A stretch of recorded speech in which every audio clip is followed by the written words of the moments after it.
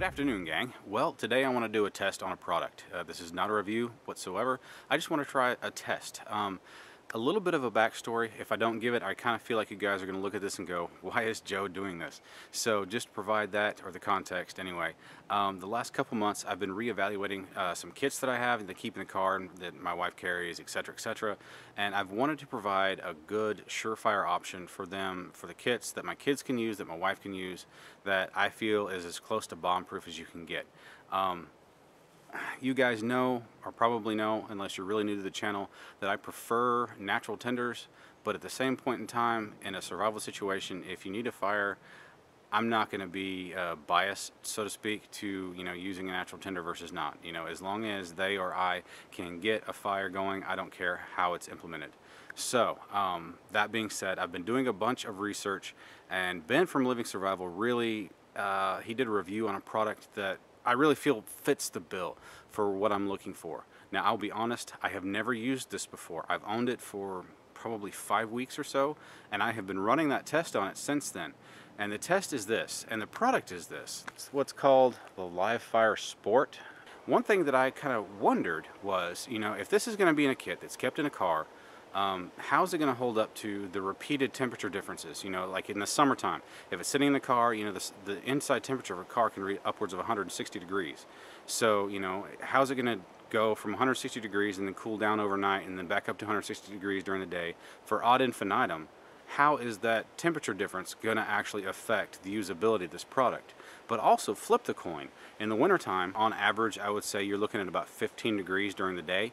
So, you know, how is this, this product going, how well is it going to work when it's 15 degrees outside? You know, when you open it up, is it going to be so brittle that you can't scrape it up like the directions say to actually break it up enough to, to catch it effectively on fire? Or is it going to be a chore to catch it on fire? And if you get it on fire, is it going to stay on fire? You know, so the, that's the test that I have in mind for today. So anyway, this is kind of how I've set this up.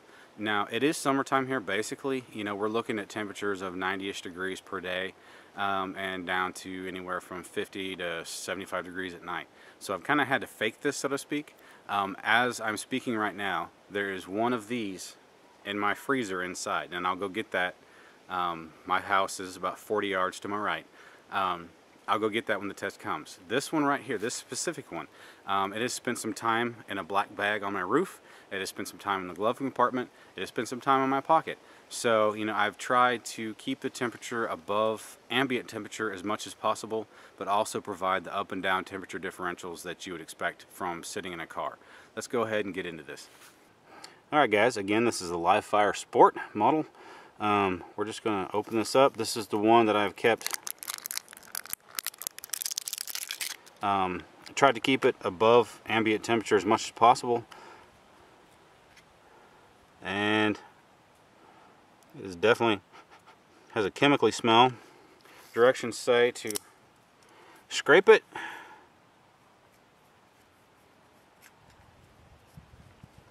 Seems to be some kind of cotton material impregnated with some kind of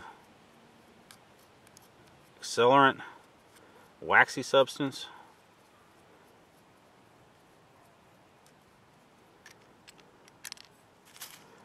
honestly I'm gonna get in there. Use my fingers to fluff this up just a little bit because my knife blade is not quite getting it. Alright just gonna use my Swedish fire steel. Boom right off the bat question is is it gonna stay yep sure is pretty darn neat all right, I'm gonna go grab the uh, the chilled stuff and I'll be right back. I'm gonna let this burn in the meantime though, so enjoy the fireworks, guys. You guys need to be quick here. I wanna show this real quick. See the condensation? That was ice, but it melted on the way out here. Anyway, this is at a, this is about 17 degrees. That's what my freezer is about. So before it warms up too much, let's see what happens. This is much harder it's actually scraping up a lot easier. Probably because it is harder.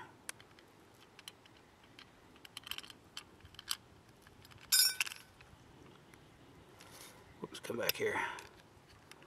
You got these fibers.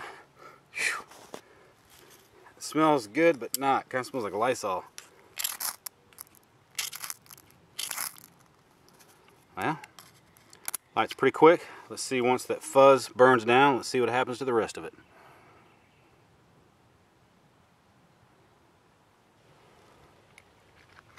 All right, guys, well, test done, and I approve.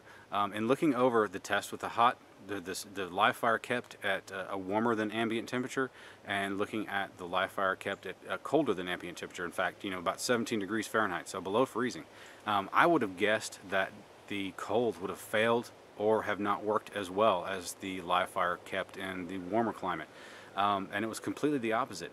And I really think, and, and looking back in my mind, that I think it was due to the fact that because it was frozen, um, it was more brittle and easier to fluff up, um, easier to break up into the finer material, you know, kind of create a wick for whatever accelerant that they have impregnated in that uh, absorbent cloth, cotton, whatever it is. So they both work well, they both work great. Uh, the cold seemed to work a little bit better, but that's neither here nor there. They both achieved flame, they both kept their flame, both work great. I have no complaints whatsoever. But one thing I want to point out before I conclude this video is that Livefire has not sponsored this video. I bought these with my own money. Um, I phrased a question, and I forget exactly how I, how I worded it to Ben um, from Living Survival, his review of the Livefire Sport. Um, something about you know how I thought he um, or how he felt these would hold up over the temperature differential of you know throughout the summer you know heating up cooling down heating up cooling down and then throughout the winter of getting you know freezing and coming up to you know above freezing temps over and over and over again. Um, but the boys at Livefire said hey Joe if you actually do that test we would love for you to post the results. So while they have not sponsored this they asked me to do it and so that's why I'm posting this today. So anyway guys like I said I approve. Definitely passed this test and I'm definitely going to be buying some more um, buy some fresh ones to put in my wife's kit, my kids' kits, putting the kits in the car, and I'll put this in my bag. And anyway, guys, thanks for joining me. I really appreciate it. Uh, if you enjoyed it, do me a favor, go ahead and hit that like button. And if you didn't like it, go ahead and hit that dislike button. Um, and if I would appreciate it if you do either one of those, go ahead and hit the comment section up and tell me why you did or did not like this video. And again, if you'd like to kind of keep track of what this channel is doing, go ahead and hit that subscribe button as well. Thanks for joining me, guys, and I'll see you next time.